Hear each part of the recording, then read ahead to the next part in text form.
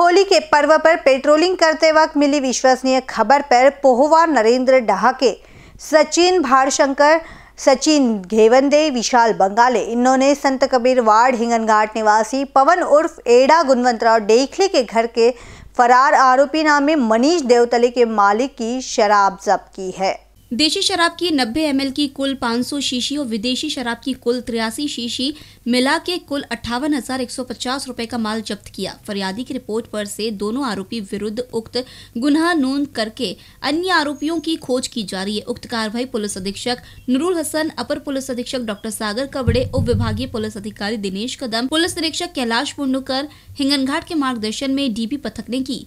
हिंगनघाट से NBCN news के लिए रवि यनौरकर की रिपोर्ट।